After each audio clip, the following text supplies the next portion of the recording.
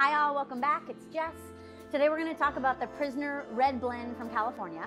Now Prisoner we call a kitchen sink blend uh, because there's everything but the kitchen sink in the bottle. Uh, mainly we're working with the big guys Cabernet, Zinfandel, Syrah, and Petite Sirah.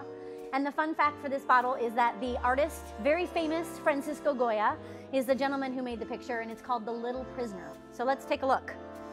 Alrighty, so if you notice the color, it's gonna be a dark ruby purple and it stains the glass. So thicker skinned grapes, thicker color, that's gonna mean fuller body. Uh, we'll get to that when we taste it, but let's stick our nose in the glass. All right, so on the nose, you should get red cherry, you should get red raspberry, you should get pomegranate, and underneath the fruit, you should get vanilla, you should get dark chocolate, and you should get cocoa powder. Now when we taste, I want you to make sure that you swish all over your mouth, lips, teeth, tongue, and notice that we're picking up a lot of those rich, juicy, plush fruits, right? So the ripe red cherry, red raspberry, the pomegranate. Um, also, underneath that fruit, I want you to taste the cocoa powder, right? There's a dusty quality going on. There's some really great milk chocolate, and there's a lot of vanilla. Um, let's take, when we taste again, I want you to swish it around. Let's talk about structure. So remember, we're looking for acid, alcohol, and tannin. Acid is how much your mouth is gushing, right? So calibration, if you were looking for the gush, it's medium. If it's gushing and you can feel it, it's medium plus. plus.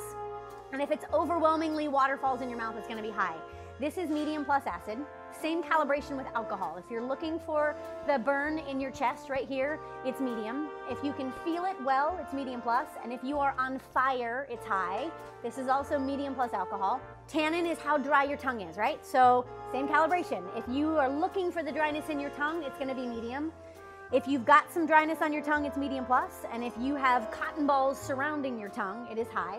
Uh, and we're gonna go ahead and say that this is medium plus tannin. So across the board, medium plus, that means it's gonna pair with some medium plus bodied foods. Um, anything protein, think anything with, with cheese or protein or fat. All right guys, so here's your three, two, one. This is jammy, it's dark chocolate, it's red raspberry. It's gonna go awesome with the barbecue ribs and steaks.